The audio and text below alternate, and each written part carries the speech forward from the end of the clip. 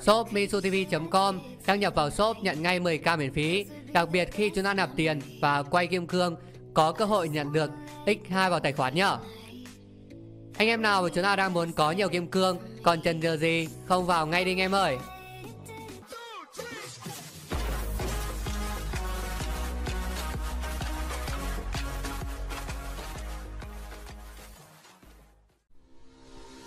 Hello anh em, chào mừng anh em quay trở lại với channel của mình. Và mình chúc mọi người có một ngày mới thật vui vẻ nhé Trong clip ngày hôm nay, chúng ta cùng đến với cách kiếm nhiều huy hiệu chay xanh này.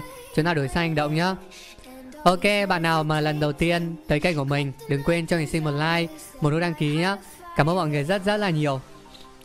Ok, và hôm nay thì mình thấy chúng ta cập nhật phần gửi quà này Có hành động lắc vai. Hành động này thì mình cũng chưa có kia Nên là mình cũng khá là thích Đó. Ok bạn nào mà chúng ta muốn gọi là đổi sang hành động này thì chúng ta sẽ kiếm huy hiệu trái xanh thôi. Ok và đầu tiên thì uh, chúng ta cùng đến một cái sự kiện mình thấy cũng khá là hay đó chính là đua tốt chiến địa quay trở lại nhá. Đầu tiên chúng ta vào trong đây ấy thì uh, chúng ta chọn tỉnh thành của mình trước này.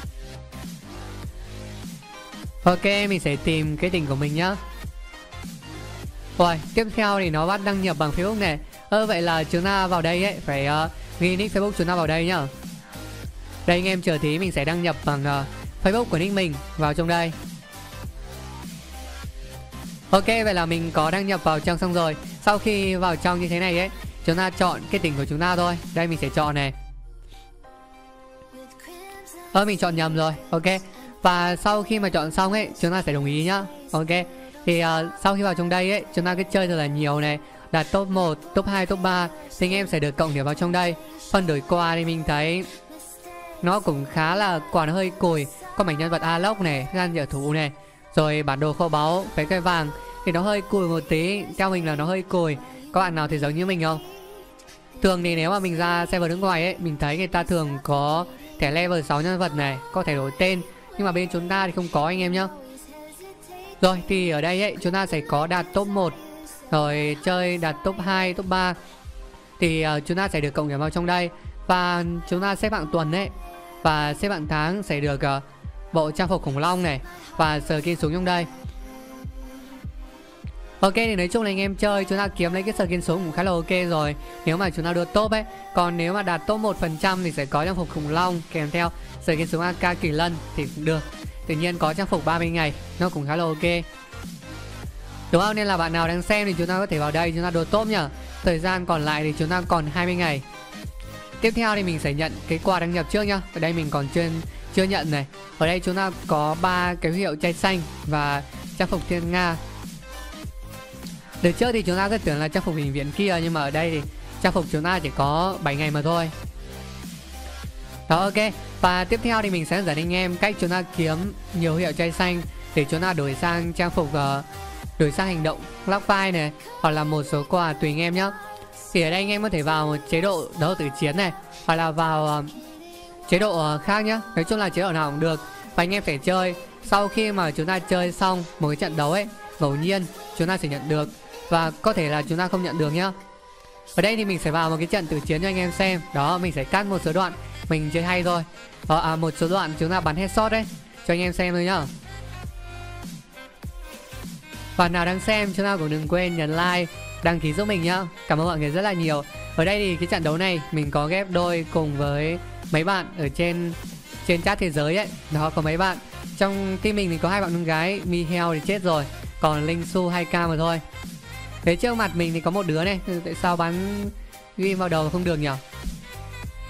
Ok, đứa này trèo lên đây thì kiểu gì cũng phải xuống rồi Kiểu gì cũng phải xuống rồi anh em. Đó, Team mình thì bao bọc hết rồi. Kiểu gì đứa này cũng phải xuống thôi mà. Đây nó chuẩn bị chắc là nhảy xuống này Ok. Rồi gục luôn rồi. Rồi thì uh, đến với trận đấu cuối cùng Đến cái giao đấu cuối cùng. Ơ Đang bắn thì bạn này lại đặt bông keo kìa. Đặt bông keo như thế này thì Pha đó nếu mà không đặt bông keo là mình ra đạn là Ông kia bay đầu đấy. Rồi Kiểu gì cũng bay đầu. Đó hình như là bạn kia AFK rồi ấy. Bạn kia bị AFK mất rồi đó mình sẽ chơi cho anh em xem nhá. Sau trận thì xem coi chúng ta có được uh, huy hiệu chai xanh hay là không.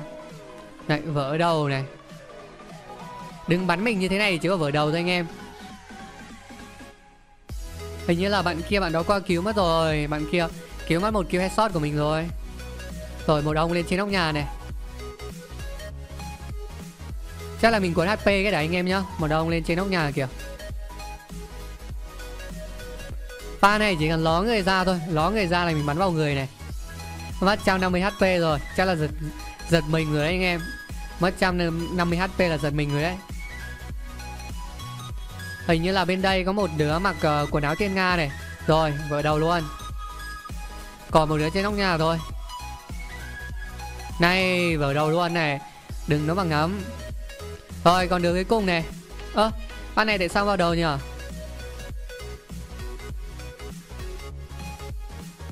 Rồi chắc là mình còn HP nhá. Rồi chết luôn rồi anh em. Chết luôn rồi. Ok vậy là chúng ta có xong trận đấu rồi. Và sau khi mà chúng ta xong trận đấu rồi ấy Thì anh em sẽ uh, gọi là Đây chúng ta có thể thấy này Nếu mà bạn nào nhận được thì chúng ta sẽ thấy ở đây. Đây anh em sẽ nhận được huy hiệu chai xanh và huy hiệu Zomot. Đó ok chưa?